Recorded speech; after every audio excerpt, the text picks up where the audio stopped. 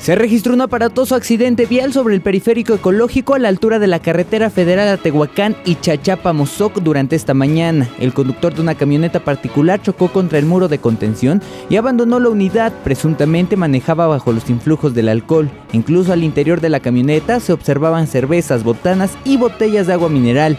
El sitio fue abanderado por policías estatales. Más tarde la unidad fue retirada por personal de grúas. Marco o José Marcos fue sentenciado a 23 años de cárcel. Él está acusado penalmente de los delitos de homicidio calificado y lesiones. De acuerdo a las investigaciones, el 23 de junio de 2007, el hoy sentenciado golpeó con un mazo a su víctima, provocando que perdiera la vida. También Marco atacó al acompañante del hombre, causándole graves lesiones. Además de los 23 años de prisión, deberá pagar la reparación del daño moral y material.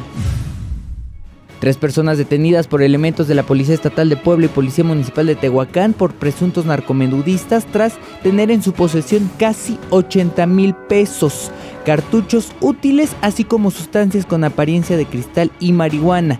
Esta detención se obtuvo mientras los agentes realizaban su recorrido de seguridad por la colonia Ricardo Flores Magón cuando detectaron a tres personas que estaban golpeando a dos hombres, por lo que se acercaron de inmediato. Ante el arribo de las autoridades, los agresores intentaron escapar.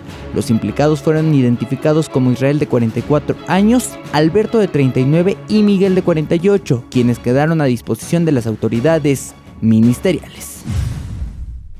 Muere la periodista poblana Hilda Luisa Valdemar, una de las primeras mujeres locutoras de Puebla, quien dedicó 50 años de su vida al periodismo. Esta noticia la dio a conocer la familia de la periodista, sin embargo hasta el momento se desconoce la causa de su deceso.